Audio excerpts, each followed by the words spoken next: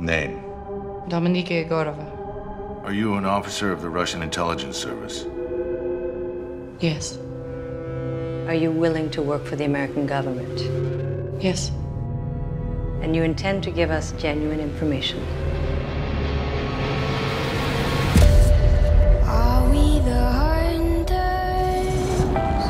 or are we the prey? Dominika's a fascinating character. Fiercely intelligent.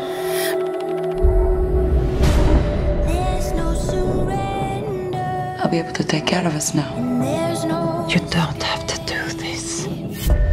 She's forced into a program against her will and trained in espionage. we the hunters. Dominika, do this for your mother. Prey. You are either the best I have trained, or you are very dangerous. She turns the tables. Her mind is fascinating. She's 10 steps ahead of everybody who's trying to use her. It's this moment where she gains power. You belong to him. They'll never let you go. I'll find a way. They